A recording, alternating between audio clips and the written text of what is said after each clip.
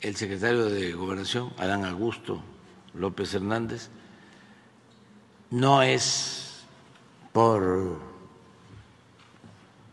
ineficiencia o mal desempeño, eso debe de quedar claro, se da esta renuncia en la circunstancia que estamos viviendo de que hay miembros del gabinete que van a participar en procesos, en este caso para ser coordinadores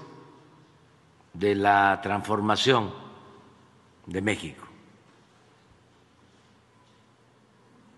Aun cuando mi función es otra,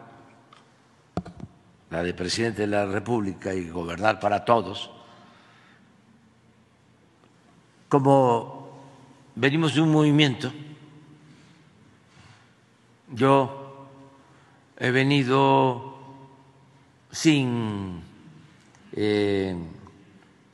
hacerlo evidente